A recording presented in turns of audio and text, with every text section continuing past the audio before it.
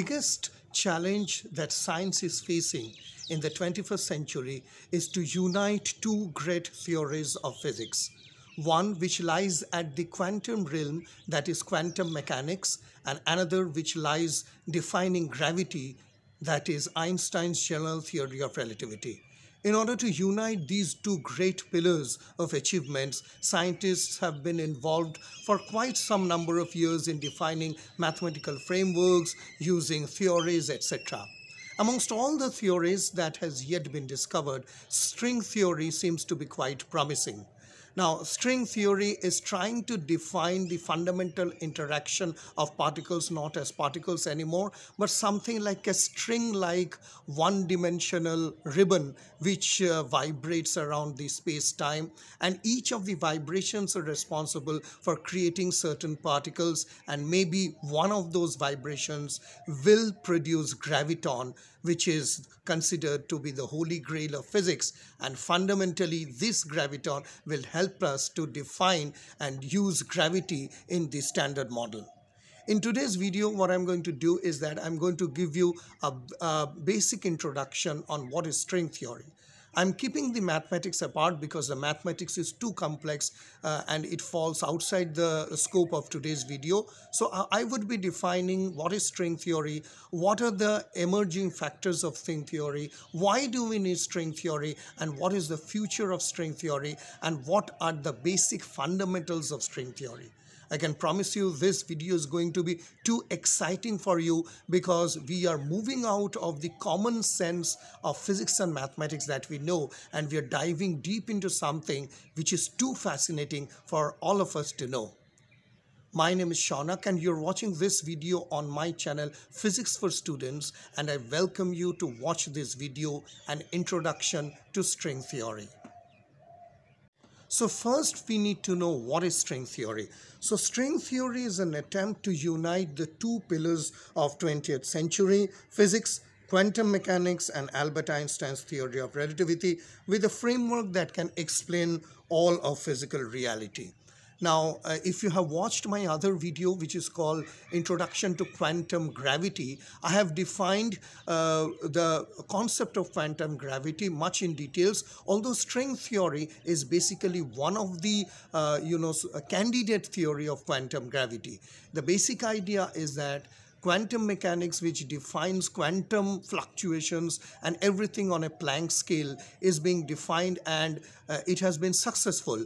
I mean to say quantum theory along with quantum field um, uh, uh, elementary particles at a subatomic level has been quite okay. And the greatest uh, discoveries has been uh, using Einstein's field equation in order to define gravity. Now, when we are using the quantum fluctuations at a Planck level, it can be black hole, it can be defining uh, the, the, the position of the early universe, we are finding some difficulties. That means gravity as a whole doesn't work really on the quantum scale. So in order to do that, uh, uh the physicists and mathematicians have developed certain theories and among that string theory is one of them.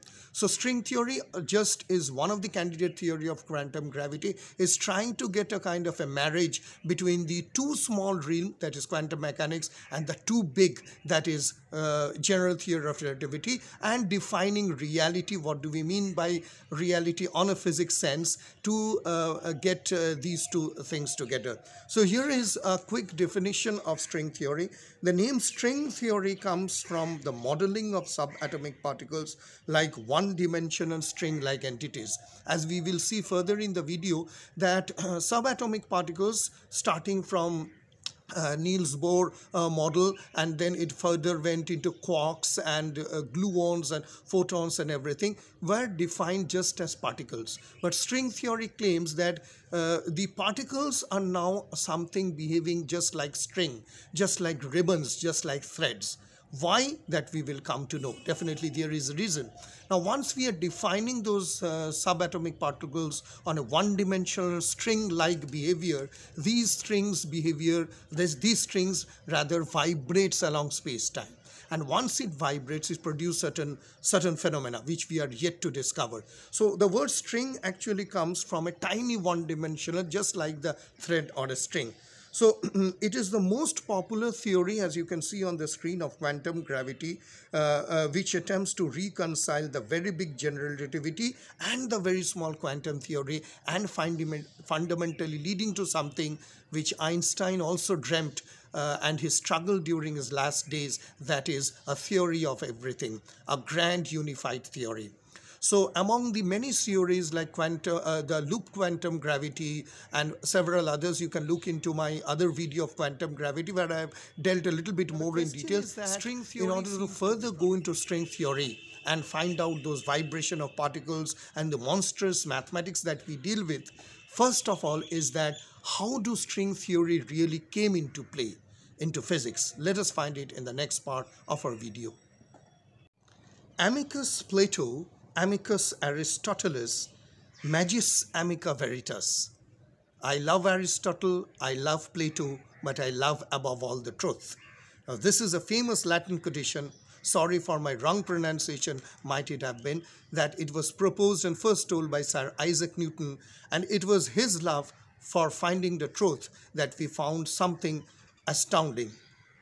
Philosophiae Naturalis Principia Mathematica, at least I consider to be one of the greatest revolutionary and seminal work on Principia Mathematica, when once it emerged, the entire world of physics was blown and we first found out that the entire laws of physics was framed into proper laws of mathematical laws. So we all know about Newton's three laws of motions and further details of position, momentum, uh, and his immense contribution to science and mathematics. What is important is that we are now speaking of what is called a classical realm.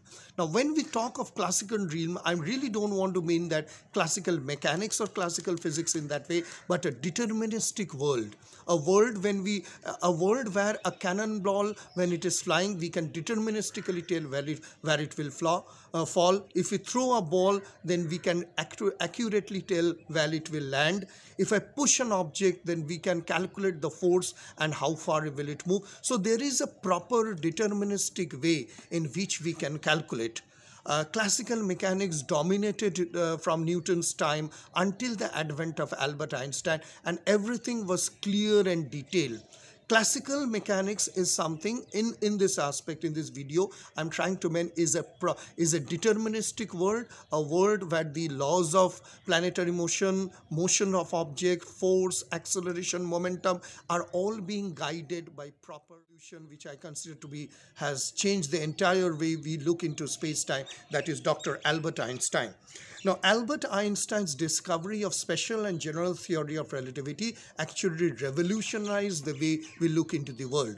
Special theory of relativity first let us know that there are relativistic effects. Maxwell's equations are formed into relativity. We got some weird uh, and absurd ideas like length contraction, time dilation, twin paradox, well, I'm not going into that because that is not a part of the video. The basic idea is that special theory of relativity first got the relativistic effects and now we further move into, uh, uh, you know, uh, into uh, relativity. So the classical uh, deterministic world is now, I won't say replaced, is now being found out with relativity. The final blow came in 1915, as you can see on the screen, with the uh, greatest, uh, uh, you know, discovery that revolutionized the space-time that we look is general theory of relativity. Uh, we now know that gravity is no more a fictitious force, but it is just a, a curvature of space-time. It is the presence of mass that causes the space-time. So Einstein's field equation on the left-hand side uh, has uh, determines how much the space is curved, and the right-hand side, the stress energy momentum tensor, defines that the presence of mass and how it causes a change in the curvature of space and it is this curvature which ultimately leads to what we call gravity. So uh, starting the uh, from moving on from classical mechanics we are now into a relativistic world. General theory of relativity revolutionized entirely the way we look into space and time. That means we are considering gravity not as a force but as something which causes a dent in the space-time and technically it is called geodesics and these geodesics leads to curvature where we call it as gravity. So starting from starlight bending to gravitational redshift to GPS, it revolutionized physics. I have made a lot of videos on general theory of relativity. You can go into my playlist and check it out. But still, we are not into the realm where things would become really bizarre and wizard. Enter another great genius, Werner Heisenberg. Now, Heisenberg's uncertainty principle, which is particularly known as Heisenberg's uncertainty principle, is any of a variety of mathematical inequalities asserting a fundamental limit to the accuracy with which the values for certain pairs of physical quantities of a particle such as position say x and momentum p can be predicted from initial conditions. It was first introduced in 1927 by the German physicist Werner Heisenberg. The uncertainty principle states that the more precisely the position of some particle is determined, the less precisely its momentum can be predicted from initial conditions that and now we are versa. into a probabilistic world moving out from a deterministic world. Why? Because all these uh, position and momentum which carried a definitive meaning in the uh, in the classical world of Newton that is a deterministic world doesn't carry any meaning. That means we cannot find out position and momentum precisely. What we can find out is a probability what we can find out that there is a chance that we might find the photon or the electron at a specific position and that is basically the idea of which which uh, Heisenberg found out now, once we moved out from the deterministic world to probabilistic world, everything becomes totally different. That means neither we can define, neither we can ascertain. All we can do is just probability, chance and chance. Now, with this Heisenberg's uh, uncertainty principle, what happened is that when we are trying to measure something on a subatomic level, we only find out the probability. And by squaring the value, which is called probability density, we can tell that, okay, the electron or the subatomic particle can be or might be or it has got how much amount of chance to be in a particular position. Now let us apply it to a to, uh, to the position when we are trying to define black hole. We all know black holes, so nothing uh, uh, to tell much about that. But when we are defining black hole and when there is a singularity which is obtained by the collapse of the black hole or otherwise, what we are finding is that mass space, time and everything is being confined to a very small, infinite small, place where everything is very dense. The curvature of space-time is infinite. Mass, energy, everything is contained in a very, very small, minuscule space which can be defined as a Planck scale. Now, what is happening is that the quantum mechanical, no more that the classical mechanics dominates here, but quantum mechanical effect starts. So, when we are trying to use the general theory of relativity at that Planck scale, at that position, at that infinite small, small point, we are unable to find out. The mathematics crashes, there is everything, there is a problem. Why? Because the quantum mechanical effects are taking over and quantum mechanics means uncertainty and we are unable to find anything specific, anything uh, particular on that uh, precise place. So Heisenberg's uncertainty principle and uh, general theory of relativity, when we are trying to define either at a quantum realm, at a Planck scale, at infinite density, at singularity breaks down. Now, the most important thing is that the nature of the gravitational interaction which was dealt with Einstein's general theory of relativity in particular is the equivalence of gravitational and inertial mass. That means which allows to represent gravity as a nature of space-time. This is very important General theory of relativity deals gravity as a nature of space-time, but as you can see on the screen that in, in case of quantum field theory or quantum mechanics, it is a field that is propagating around a space.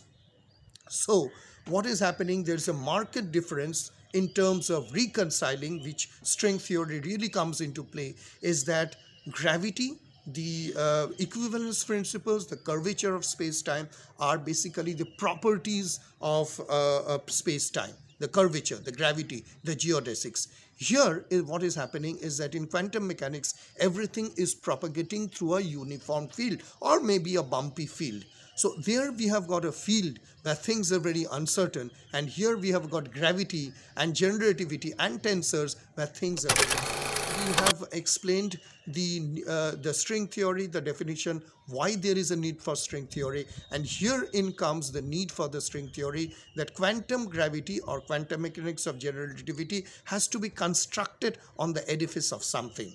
That is what will string theory gives us. But in order to go over uh, further into string theory, what we need to find out that what are the theories and amongst them uh, which theory that I mean to say string theory is considered. So coming up next are the different theories, just a quick glimpse, what are called candidate theories of quantum gravity.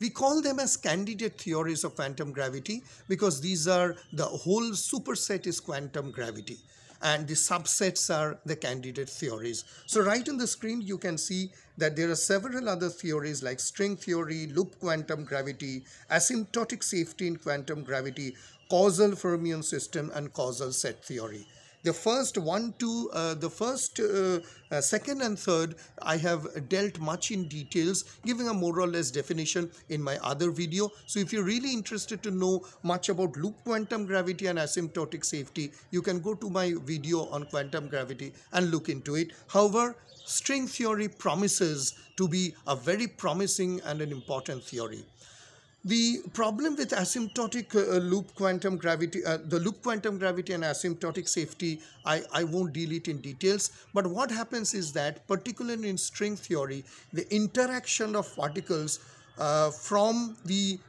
point-like particles are reduced to something called string.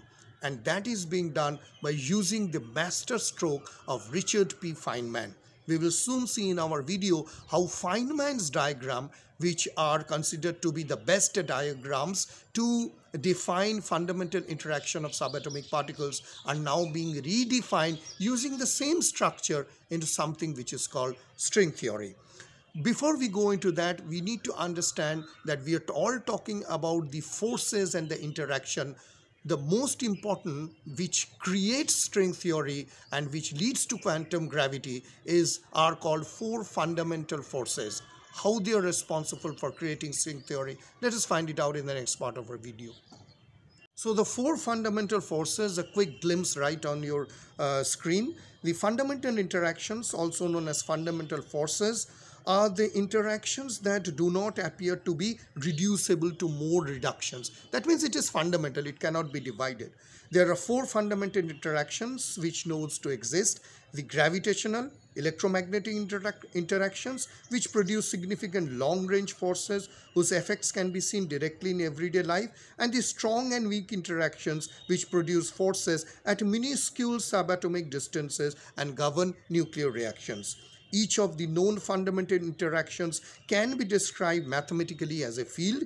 The gravitational force is attributed to the curvature of spacetime, very well defined and structured in Einstein's general theory of relativity. The other three are discrete quantum fields and their interactions are mediated by elementary particles described by the standard model of physics. This is nothing new. I mean to say because this is something which we need to define as we are going ahead with string theory. So the four fundamental forces, electromagnetic, strong and weak, are already finding a safe house in the standard model of particle physics. The problem is with gravity gravity is not being welcome into the standard model house. And that is the quest that is the finding and that is what string theory really builds in. I mean to string theory as well as other candidate theories so in order to define and in order to, uh, you know, put gravity into the safe house of standard model, the string theory is being built. But most importantly is that is not only the four forces are responsible, but something which is carrying the four forces are equally important. What are they? Let us find out in the next part of our video. Four forces, the carrier of four forces are also called gauge bosons. So the force is carrying the force like gravity, electromagnetism, but there is a carrier. There is something which is carrying the force. These are called gauge bosons. So uh, there's a quick uh, review right in front of you. Within the standard model, the strong, strong interaction is carried on by particles called the gluon and is responsible for quarks binding together to form hadrons such as protons and neutrons. The weak interaction is carried by particles called W and Z bosons and also acts on the nucleus of atoms mediating radioactive decay. The electromagnetic force carried by photon creates electric and magnetic fields which are responsible Gravity. for the so the force carrier, as you can see, the four forces, discarding gravity, strong, it has got a. Uh, I can uh, immediately show you right on the screen. So this is a kind of a, the problem is with gravity. So uh, I mean to say uh, right now in this part of the video, I hope you can understand that it is the problem that is uh, coming is with the career. That is, if we do not have a career that is for gravity, it cannot fit in to the standard model. Because in the standard model, if we have got all the careers of all the forces, then it is fine and safe. But the problem of gravity is not only applying general relativity to quantum scale, but because it has got no carrier. We hypothesize the carrier of gra gravity is something which is called gravitons but it is not yet fine. But what is graviton? Let us find out a little bit into the next part of our video.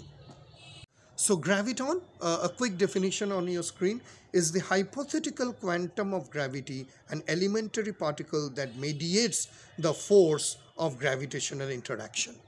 The quest is on, the finding is on, the journey is on to find a graviton. It is a hypothetical particle and it mediates the force of gravitational interaction.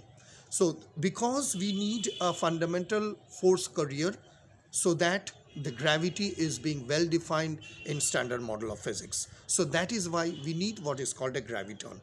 So and let you know that this renormalization perturbative theory and that gravity is a non-renormalizable uh, perturbative theory. If you really want to know a little bit more, please uh, look into my video into quantum gravity which I have given in the I button because these are important however not important in the correct context of string theory. But what is renormalizable what is non-renormalizable what is a perturbative theory these things comes into flow when we are dealing with quantum gravity very fundamental to physics and mathematics. If you want, you can go. However, coming back to the context, we now understand that what is a graviton? It is a search, it is a hypothetical particle which, if being found, finds a safe place in the house of standard model and the entire problem is solved.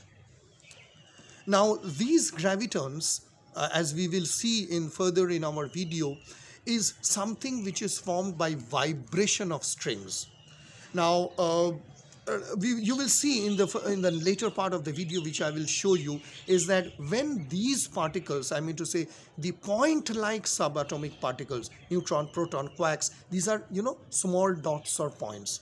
Now when these point like particles are being uh, visualized mathematically or otherwise as a string okay as just a kind of a ribbon which is vibrating in space time then each of these vibration pro, uh, produces some one of these vibration in some dimension produces a graviton.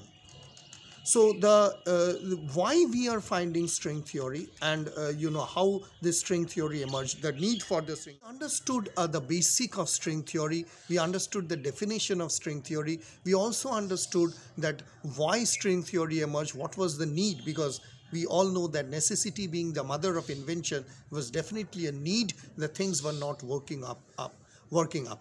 So uh, now what we need to understand is that after knowing that how string theory emerged we need to go a little bit more into the details of string theory. We need to understand the fundamentals of string theory what is the behavior and how things are find out so let us look a quick glimpse into something very interesting coming up in the next part of our video. So now that we have got a fairly clear idea on what string theory is and why do we need it, now it is the time that we delve deep into the understanding how this elegant theory emerged into.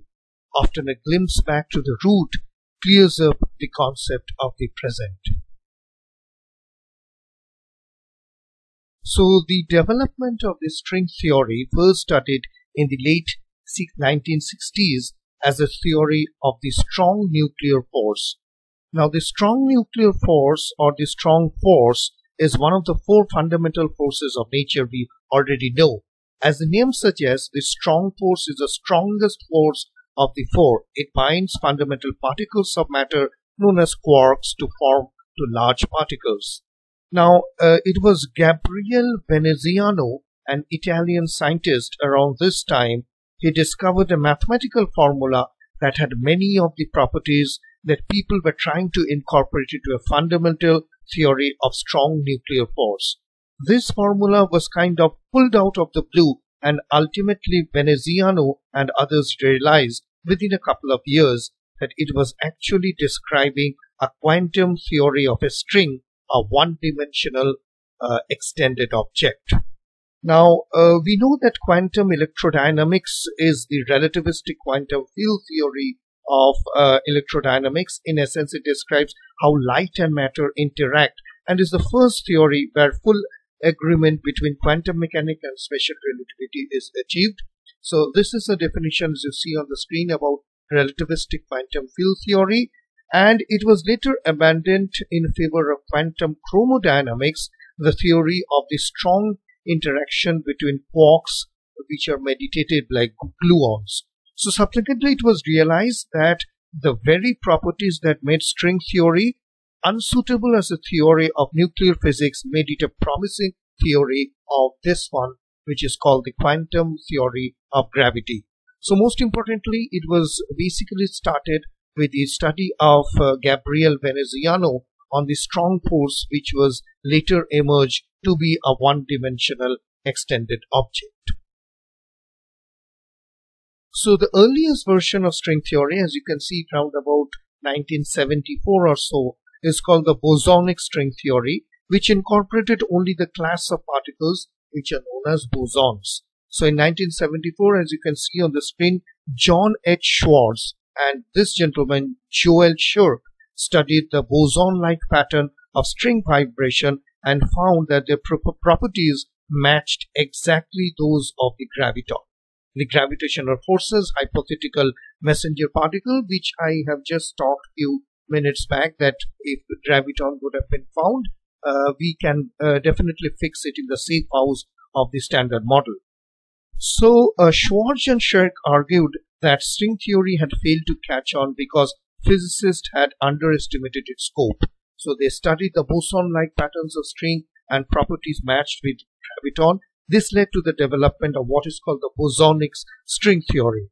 So now there were problems. The problems were that this had a critical dimension which is d equals to 26, the theory of fundamental instability, the presence of tachyons additionally, while bosons are critical ingredients of the universe, they are, they are not its only constituents.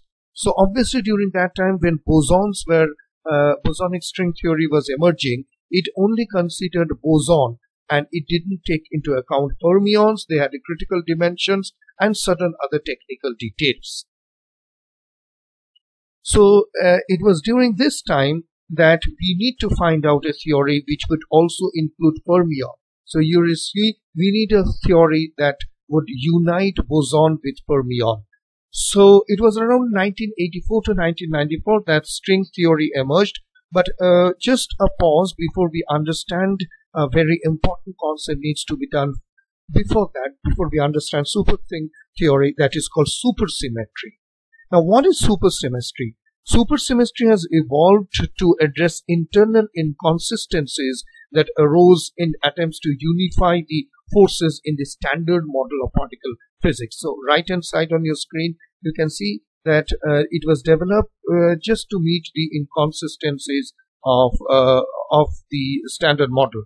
So the supersymmetry is basically is a space-time symmetry between two uh, you know basic classes of particles. Here is a fermion and here is a boson. So you know you know there is a kind of a symmetry in between. So uh, the uh, fermions, bosons which have a kind of an integer valued spin and followed Bose-Einstein statistics and fermions obviously have a half integer valued spin and followed Fermi Dirac statistics. Now in supersymmetry, each particle from one class would have an associated particle in the other, which is known as superpartner. So as in all what you can see that supersymmetry is an essential feature of supergravity, number one, the quantum field theory of the gravitational force and of string theory, which is an ambitious attempt to provide a self-consistent quantum theory unifying all the particles and forces in nature. So uh, this is essential that uh, why uh, the question is that why it was supersymmetry uh, uh, uh, before we go into superstring theory. So I just wanted to give you an idea what is supersymmetry is all about. It developed due to some inconsistencies of the standard model. And now it incorporates tries to incorporate supergravity quantum field theory and gravitational force. Okay so what is supersymmetry? For example i would like to give you a very simple example. So uh, for example if it is a square right? So square has a fourfold symmetry we all know. Uh, when it is rotated to 90 degrees 80 and 27 degree it maintains the symmetry it appears symmetric after undergoing transformation right? Now see uh, we know that fermion are actually half integer value spin and follow the Fermi-Dirac statistics where a boson are integer value spin which followed Bose-Einstein statistics. The main idea is that there should be a symmetry which occurs between both of them right? So uh, this is very very important. And each particle which I told you in supersymmetry forms one class which have an associated uh, partner uh, which is known as super partner. For example, electron should have a selectron or something like that. So this is basically the idea of a supersymmetry and just I wanted to give you uh, using a very uh, you know easy example of the square that how it maintains its symmetry. So just to give you the basic idea that in supersymmetry fermions and bosons are getting interest transferred without changing the structure. So symmetry and supersymmetry. Symmetry is something, just with the squares example, you understand this is something which would maintain it. That means in physics, the symmetry of a physical system is a physical or mathematical feature of the system that is preserved or remains unchanged during uh, any kind of a transformation. Just like the squares in uh, the in, in the uh, standard model also when the fermions and bosons are interchanging, the symmetry is being maintained. Okay, so now we uh, come back to what is called as uh, you know superstring theory. So uh, now that we have understood supersymmetry, it will be easy for us to understand. So superstring theory is a sh shorthand you can call of supersymmetric string theory because unlike bosonic string theory, it is a version of the string theory that accounts for both fermions and bosons.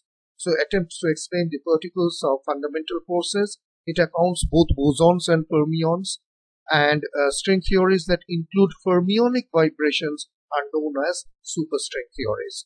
No supersymmetric particles till now have been found at Large Hadron Collider and out of that five consistent versions of the string theories emerged.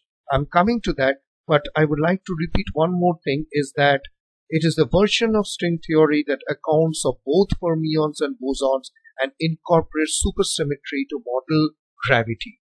So we have just seen that initially we started with what is called a bosonic theory. There were problems. We it considered only bosons and it discarded fermions. Uh, prior to that, we started string theory, uh, uh, taking into account the study of strong force. Uh, it has many complications, including dimension of 26, and now uh, we have found superstring theory. We understood what is a supersymmetry. Things which doesn't change. And fermions and bosons, even they are changing, the symmetry is, is maintained. Five consistent theories of strings have emerged. Okay, so uh, let us look into a quick recap what we have understood. The fundamental building blocks of reality are basically tiny vibrating strings, right? So string theory is the idea in theoretical physics that reality is made up of infinitesimal vibrating strings.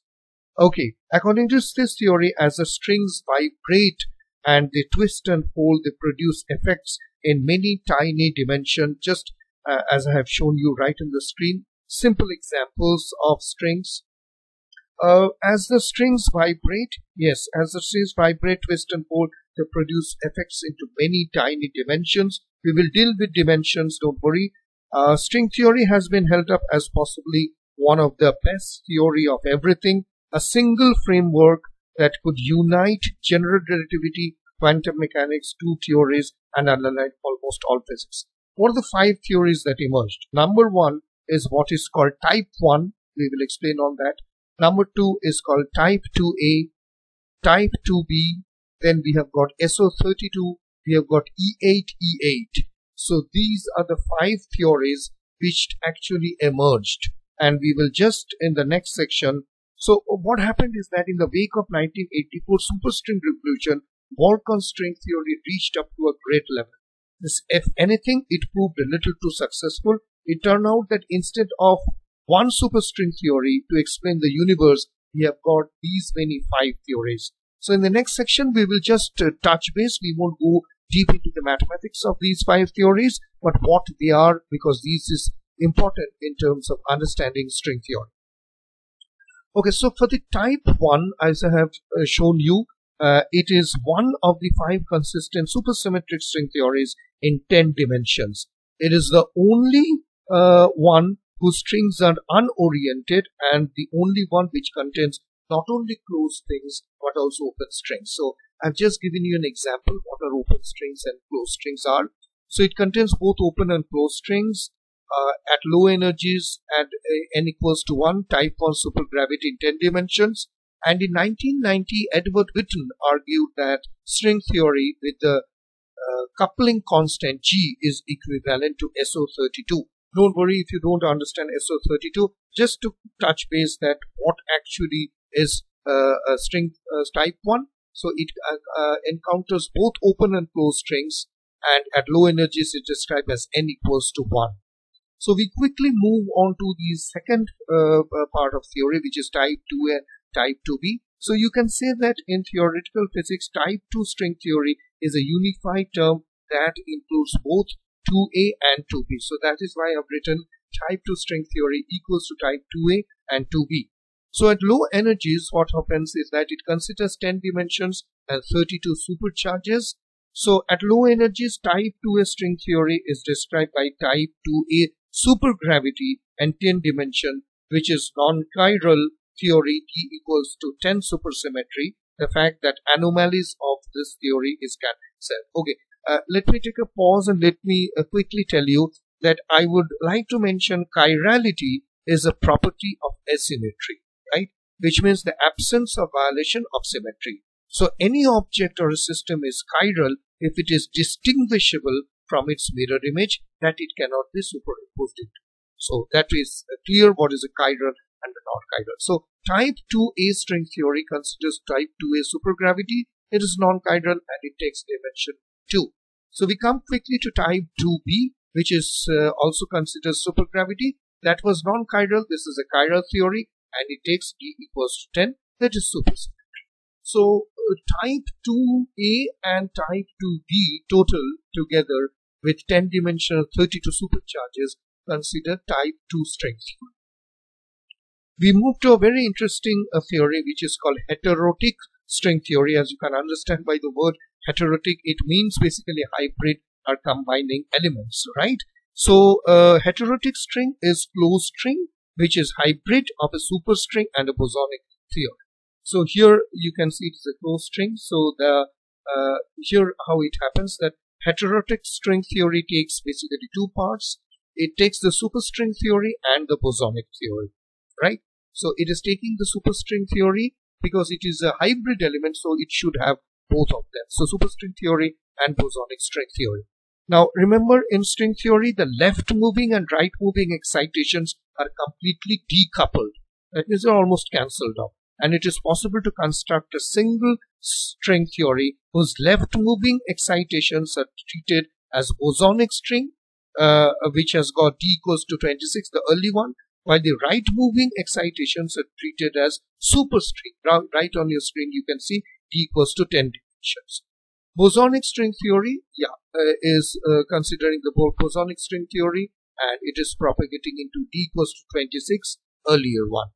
So this gives you a kind of an understanding of what is called heterotic string theory, considering both superstring theory and bosonic string theory. Superstring theory has got d equals to 10, the modern one, and the bosonic earlier used to have dimensions d equal to 26. Now here you see that 26 minus 10, that means the bosonic minus the superstring are 16 dimension which is left out. Question is that where is this dimension?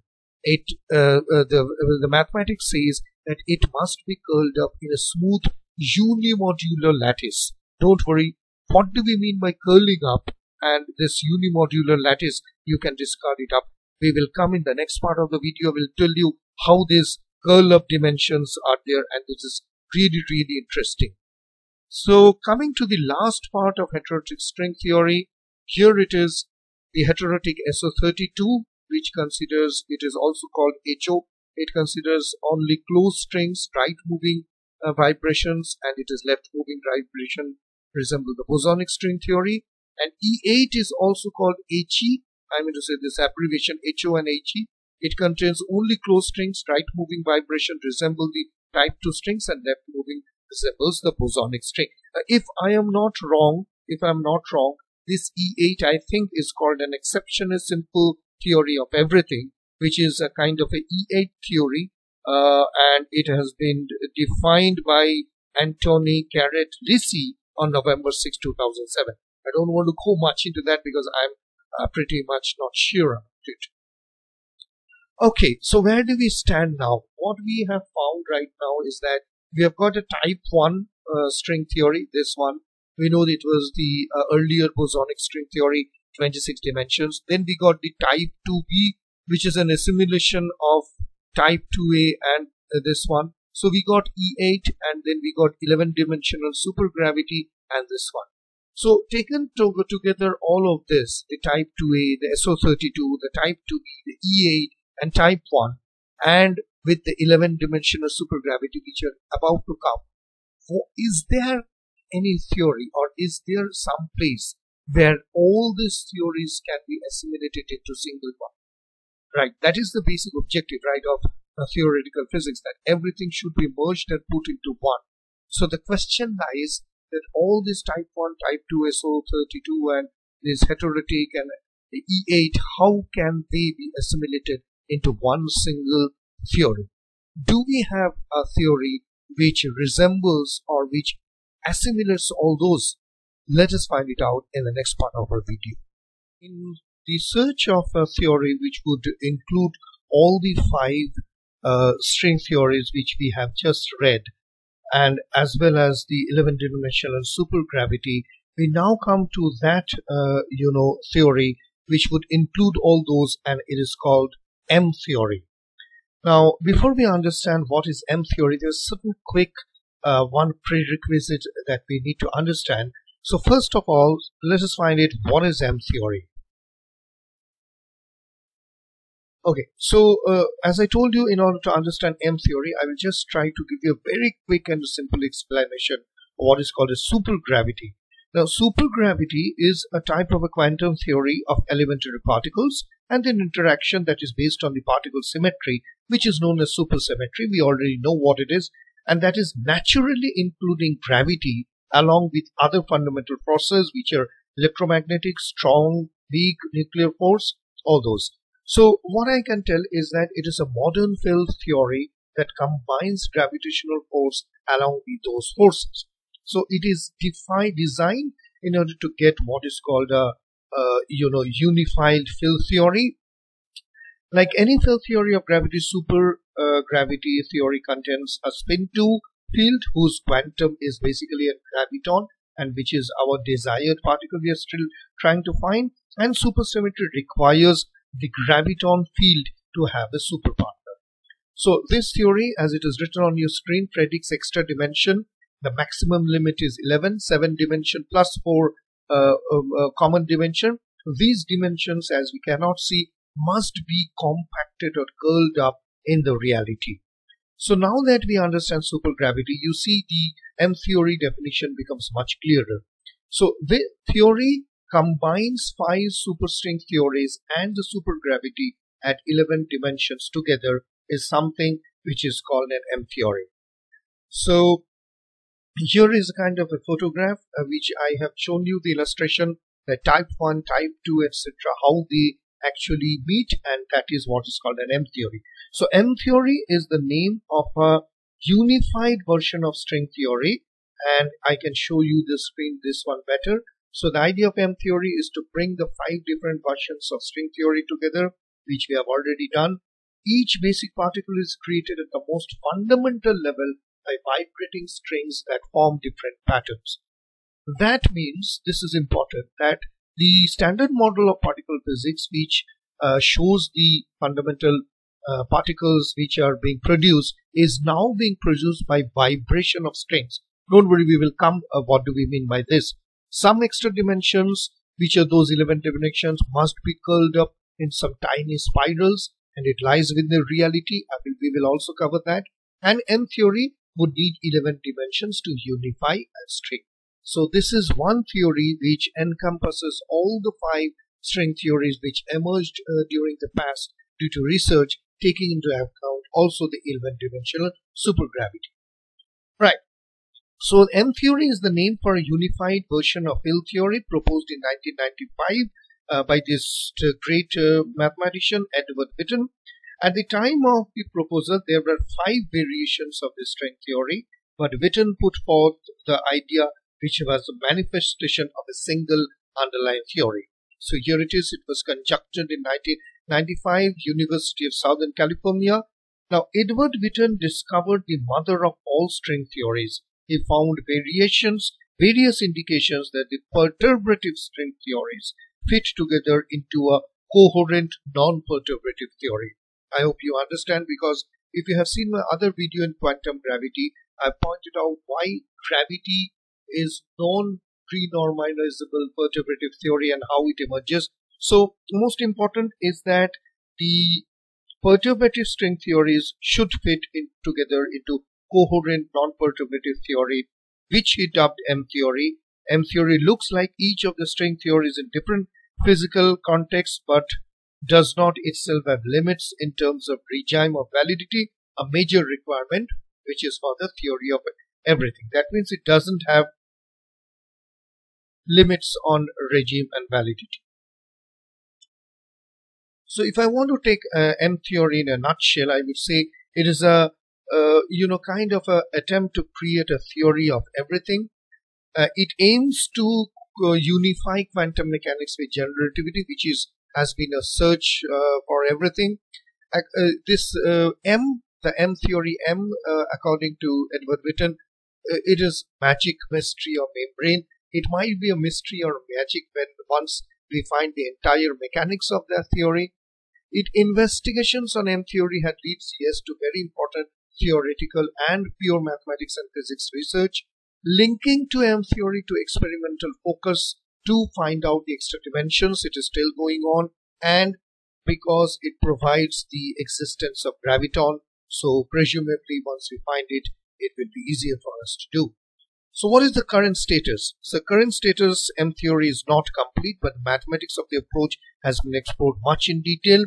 So far, no experimental support for M theory exists. Some physicists are skeptical that this approach will ever lead to a physical theory describing everything. One feature of M theory has grown great interest is that it naturally predicts the existence of graviton, right? and uh, which is a spin to particle hypothesized to mediate the gravitational force. Furthermore, M theory naturally predicts a phenomena that resembles black hole evaporation, which I have not covered in this video. So this is the current status. It's not complete. No experimental support, mathematical support has been explored and it is elegant. So now we find a theory or we are trying to find out a theory which encompasses all the five string theories along with supergravity in 11 dimensions. Till now with the video we have covered almost uh, the most important part of string theory yet some of the fundamental concepts of string theory are still lacking. Some of the fundamental concepts, I mean to say some of the fundamentals which uh, if explored better would lead us to much better understanding and that is coming up in the next part of the video. Now we come to the most important and central idea of this video, the string theory fundamentals. Now in this section what we would be learning about are very important concepts which underlie the entire concept of string theory. we would go slowly, step by step, and we will understand those concepts mostly on an intuitive level because the mathematics we are not considering particularly in this video.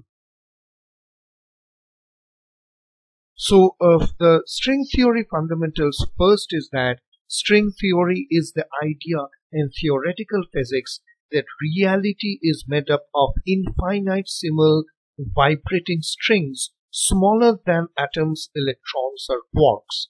I try to depict this in this kind of a uh, illustration. So according to this theory, as the strings, strings vibrate, twist and fold, they produce effects in many tiny dimensions that humans interpret as everything from particle physics to large scale phenomena like gravity. Fundamentally, what we are doing is that everything starting from the minuscule to the biggest gravity, that is Einstein's general relativity, we are trying to interpret and trying to find in one single theory.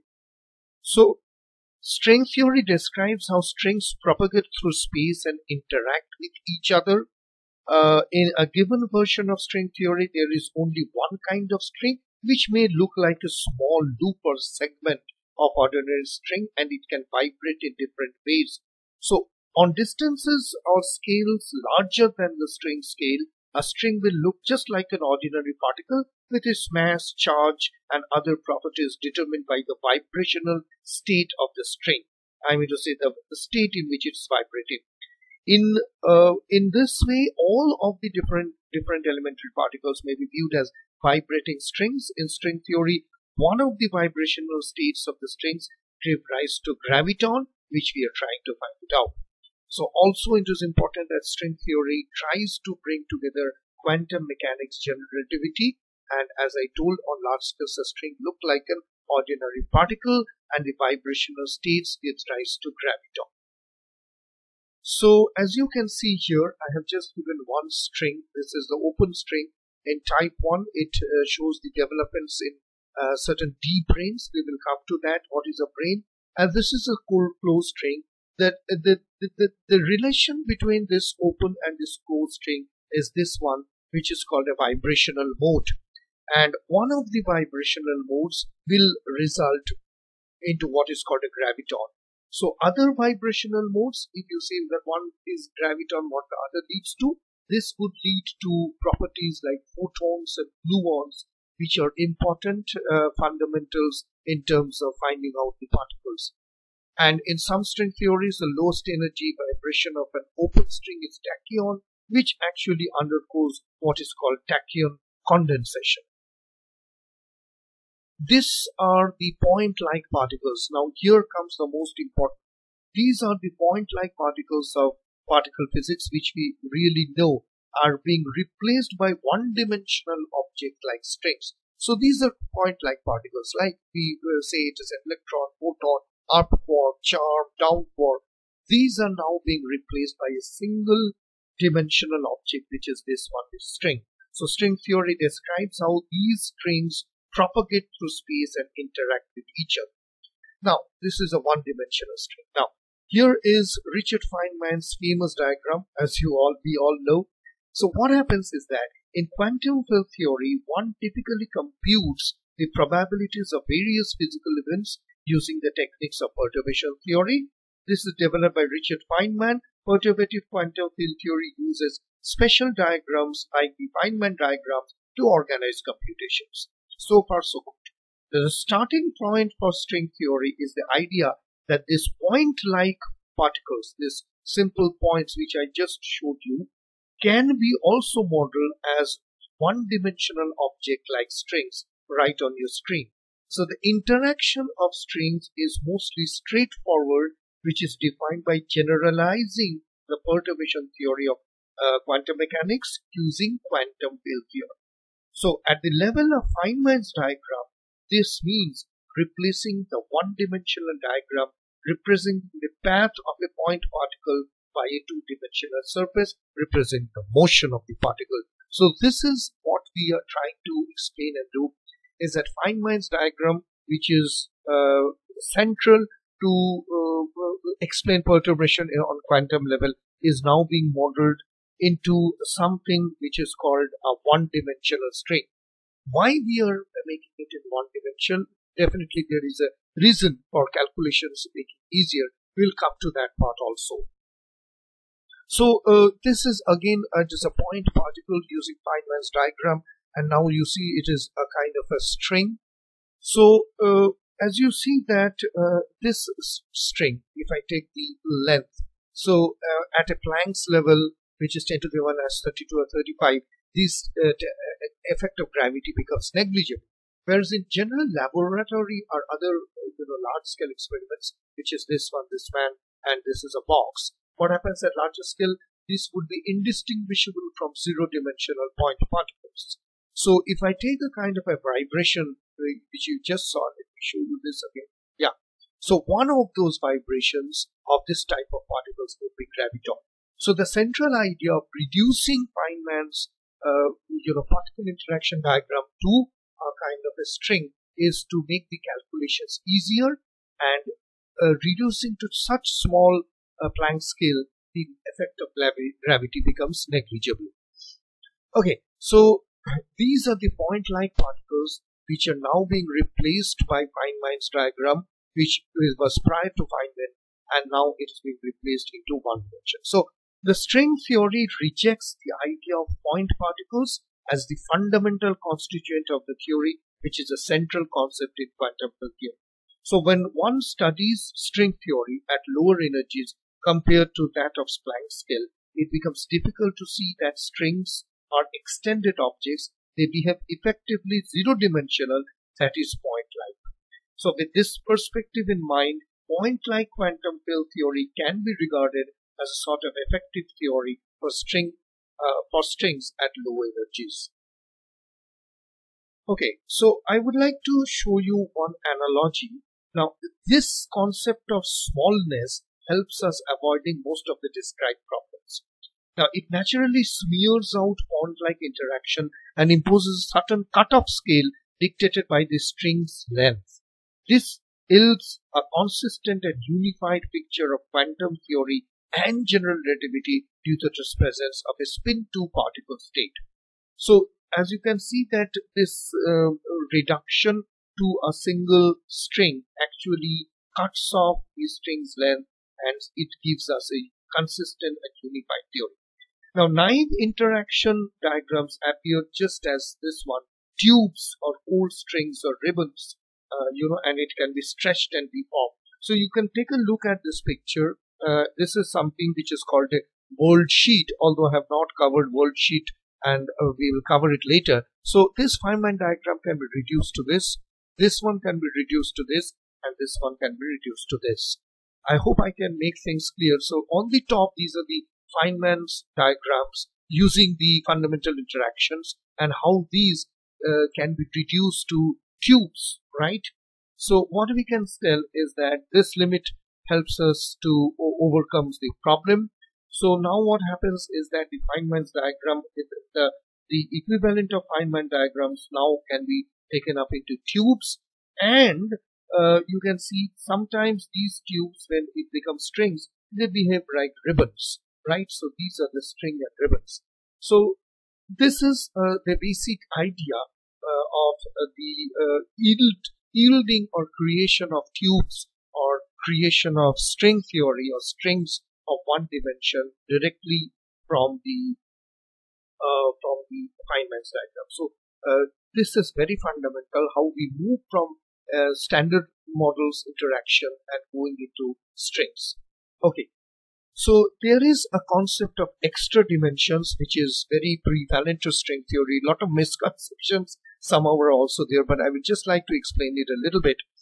Uh, the if what happens is that if we take a kind of a, a four-dimensional space-time, for example, uh, I mean to say the general uh, Einstein's general relativity or classical mechanics, and we put a sphere around, so it creates a kind of curvature like this, and this curvature is something which is known as geodesics, and we get gravity. It's uh, just classical relativistic mechanics. So this is a four-dimensional space-time. Now what happens if we take the same four-dimensional space-time and we use the strings to vibrate. So when the strings are vibrating, it produces One string it produces a kind of an electron, another string produces a neutron, maybe another string produces a, a quark, and another things produces anything like that. So So what is happening is that in case of vibrations that are required, uh, because our usual space-time does give the strings enough room to vibrate in all the ways that they need to uh, fully express themselves as all the variety particles are available, they are too, just too constrained, right? So the strings vibrate, the vibration produces electrons, quarks, neutrinos, etc. Each string is a point-like particle and each string vibrates in different modes. So this vibration, uh, considering even a space-time, four-dimensional classical relativistic space-time, is not enough. And because it is not enough, what we find is there's a lack of space. That means we need extra dimensions. That means we need space. That means we need extra area where these strings would vibrate and eventually lead and produce elementary particles, quarks, neutrinos, which will make up and build the universe. So if we take this space and time, so we get a one string which is maybe this these are hypothetical particle 1 in one dimension and then particle 2 in two dimension and so on particle 3 4 5 6 and it gets into 11 dimension right so the bosonic string theory which we uh, already has covered it used to yield particles in 26 dimensions hypothetically superstring theory has got 10 dimensions and m theory which is the one which we are currently working with uh, founded by edward witten requires 11 dimensions that means these dimensions are required in order to vibrate and produce the constituent particles which will form our universe. Question is that we are unable to see those particles. What is the reason? So the reason is that uh, this is a kind of a compactification which actually happens, right? So uh, you see this fifth dimension has been compactified into something which we call as a curled up dimension or a cylinder condition. Now, it was during this time that Kaluza, I mean to say Theodor Kaluza, added a special twist to that fifth dimension, making it wrap around what you can see on the left hand side, which is called a cylinder condition. The requirement made something new pop out. Kaluza recovered the usual equations of general relativity in the usual four dimension plus a new equation that replicated the expressions of electromagnetism. After a couple of decades later, Oscar Klein tried to give Kaluza's idea an interpretation in terms of quantum mechanics. He found if this fifth dimension at all existed, it was responsible in some way of electromagnetism, and this dimension had been scrunched, wrapping back around itself, just depicted on the screen. So what happens is that if you can see this part, uh, particular particle, that uh, this dimension this one, ima- uh, it, it uh, imagine an ant living around, wiggling around, and it moves around this circle, which is our point of view, and pretend that this one-dimensional line is one world that we observe. Then what we find is this one, this cylinder. These are the larger dimensions. I'm sorry for this writing. I should have written below where I have taken from Wikipedia. Anyway, so the larger dimensions are on this way and the compact dimensions lies here. So this is the standard analogy. Uh, you know, if a hose pipe is viewed from a sufficient distance, it appears to have only one dimension. However, if you approach close, it discovers that it is a second dimension, which is the circumference. Okay, so now comes the most important part that we have seen here. Let me go back. That this is something where the uh, dimension is being curled up and wiggled around a kind of a hose pipe. Now, there is something which is also called a compactification. This is wrong English, but physicists do not care about English. Compactification is a way of modifying the number of dimensions in physical theory. In compactification, some of the extra dimensions and assumed to close up themselves to form circles. So in the limit uh, of these curled up dimensions become very small and one obtains theory in which space-time has effectively lower number of dimensions. So in string theory, uh, as you can see here, this is another uh, cross section of what is called a Calabi-Yau manifold. and this is something related to pure mathematics, so we are not going into it. That means that we cannot see those extra 10, 11 or 26 dimension because it has been curled up and it has been assumed to close up into some circles.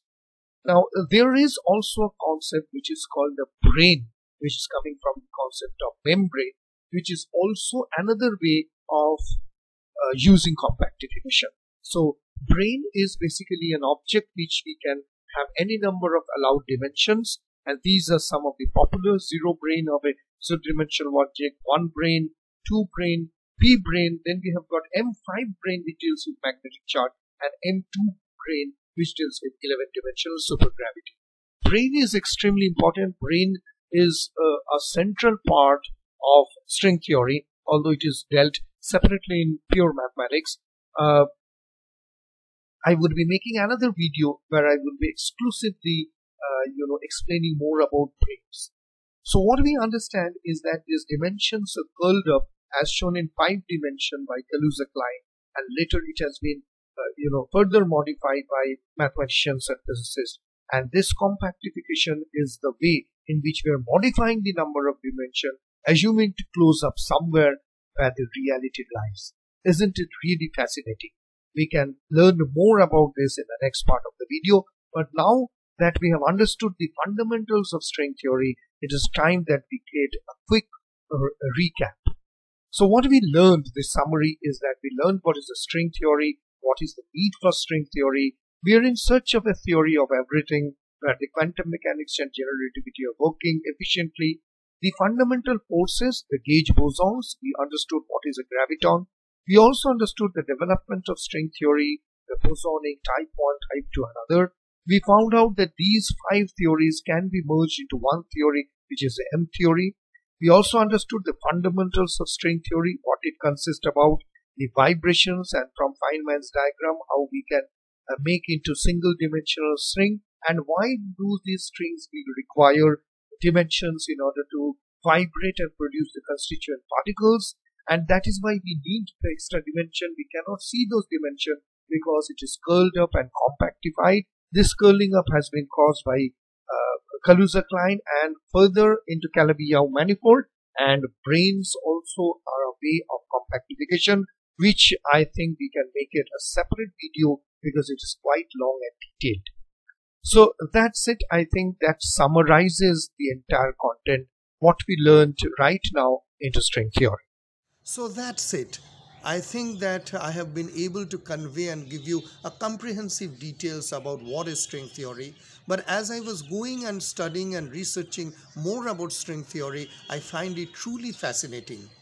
Uh, this video is just an introduction of string theory, but I have left apart lot of very important topics which needs to be dealt separately in separate videos. Among them, the concept of branes needs to be included and read a little bit more. Uh, what is the uh, uh what are the different dimensions which are considered, Calabi-Yau manifold, and many other things string theory just like any other uh, branch of physics is huge is interesting is uh, uh, abstract and that is why it generates a lot of interest among that the M theory, as you have seen, and other candidate theories are still emerging, and we hope that in due process of time, we will find out a proper answer and Einstein's uh, dream to find out a unified field theory or a theory of everything will be fulfilled the uh, search is on, the physicists are on, the mathematicians are on.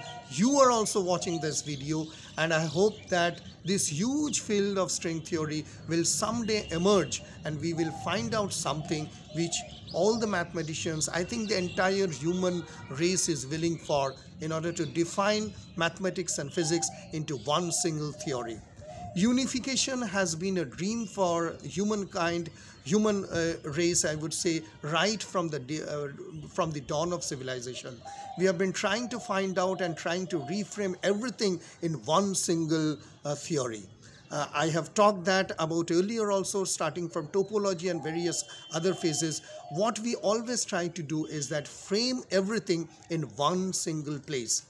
With the advancement of technology, you see that mobile is no more a mobile, television is no more a television.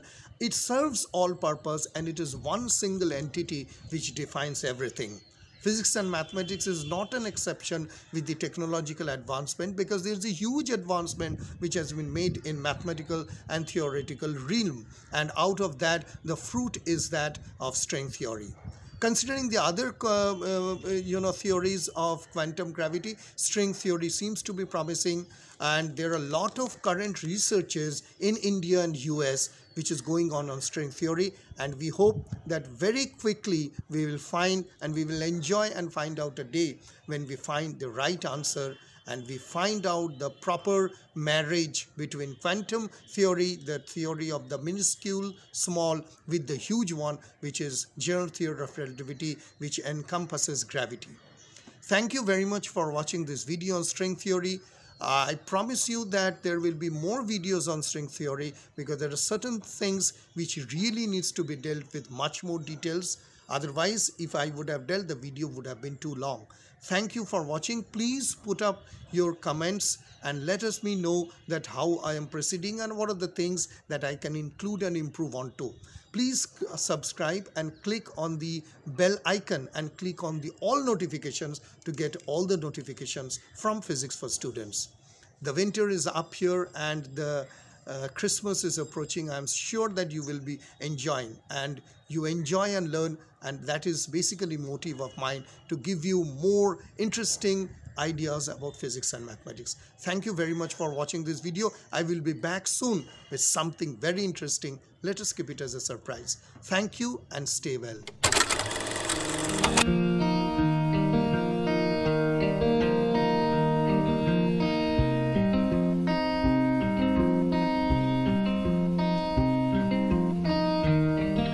Now, you can be a part of our team.